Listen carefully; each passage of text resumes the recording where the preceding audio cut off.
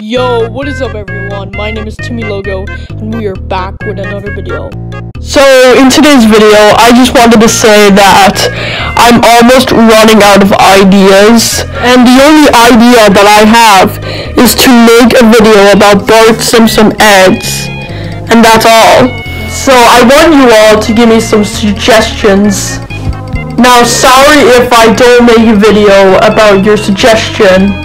But anyways, that's going to be the end of today's short video. So yeah, goodbye everyone. Why does this video exist though?